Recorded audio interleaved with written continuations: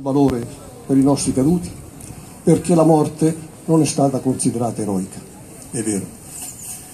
Ma l'eroismo è stato nella scelta dei nostri soldati, dei nostri carabinieri e dei civili che erano con loro di affrontare i disagi di un servizio in terre straniere, in terre inospitali, piene di ostacoli, piene di incognite, in favore di quelle disgraziate popolazioni.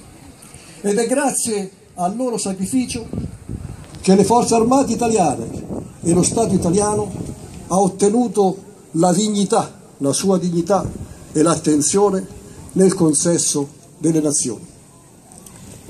Ma chi erano questi nostri soldati, questi nostri carabinieri?